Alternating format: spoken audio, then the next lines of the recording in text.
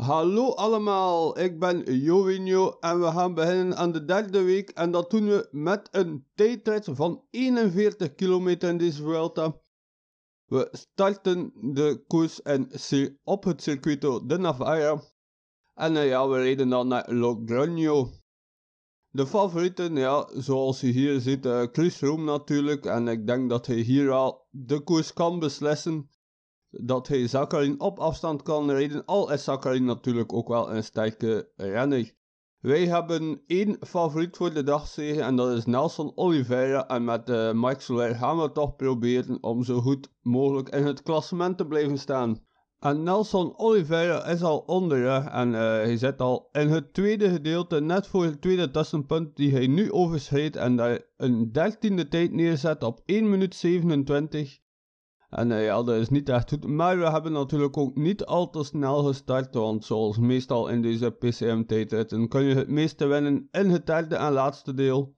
Zeker als het een uh, vlakke rit betreft. Nog iets meer dan 10 kilometer. En uh, ja, Oliveira is goed bezig. Ondertussen zijn al twee renners van ons geëindigd. Jorge Arcas en Antonio Pedrero. Hij staat voorlopig wel op een top 10 plaats, maar zal daar natuurlijk niet blijven, want de enige die daar kans op maakt is uh, Nelson Oliveira. En die ziet voor zich twee andere renners rijden, dat is een mooi mekpunt. Heeft nog genoeg krachten over, dus kan goed doorzetten. En uh, ja, hopelijk kan hij toch wel zo dicht mogelijk bij de voorlopige leiding finishen, want dat zou in principe wel moeten, want uh, Nelson Oliveira heeft toch wel 76 tijdrijden. En met zijn dagvorm erbij is dat 78. Dus uh, ja, dat, dat moet wel lukken.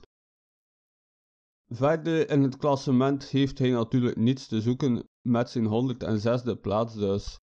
En hier gaat hij gewoon twee voorbij. Matej Mohoric en uh, Hernandez was het, was het denk ik. Inderdaad, en het is net alsof ze stilstaan. Oliveira is op weg naar een zeer goede tijd denk ik. Hij gaat onder de boog van de laatste kilometer en kan er nog een sprintje uitpersen. En uh, we zullen zo meteen zien wat dat heeft. En dat is een toptijd. Inderdaad, een toptijd.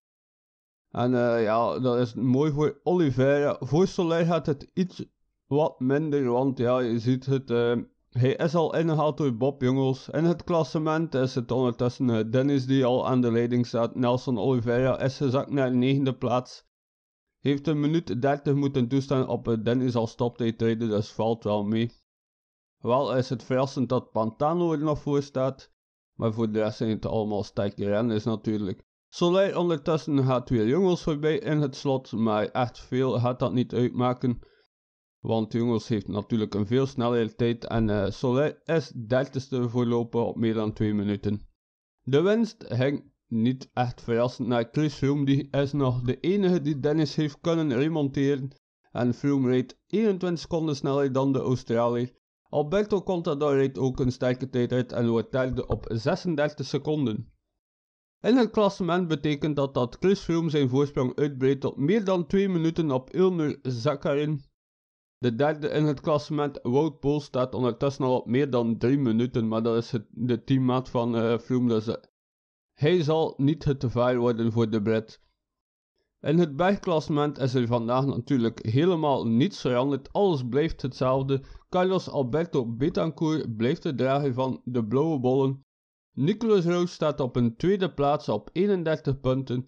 En Mike Soler staat derde op een hele grote achterstand. In het uh, puntenklassement is Chris Froome ook de, ja, eigenlijk de winnaar kunnen we wel zeggen, want hij heeft al een voorsprong van 51 punten en dat is meer dan twee redzeges bij elkaar, dus ik denk niet dat iemand hem nog van die groene trui kan houden. De Fransen Alaphilippe en Barhil staan daar tweede en derde. In het jongenklassement is Bob Jongens dichtbij gekomen, maar het is nog altijd Simon Yates die aan de leiding staat hij heeft een voorsprong van 19 seconden op de Luxemburger. En de broer van de, de leider Adam Yates staat op een derde plaats op iets meer dan 1 minuut. En uh, met het ploegenklassement zullen we deze tijdrit afsluiten. Was ook de enige lange tijdrit in deze Vuelta. En we gaan uitkijken naar morgen. de 17e etappe. Bedankt voor het kijken, tot ziens, dag.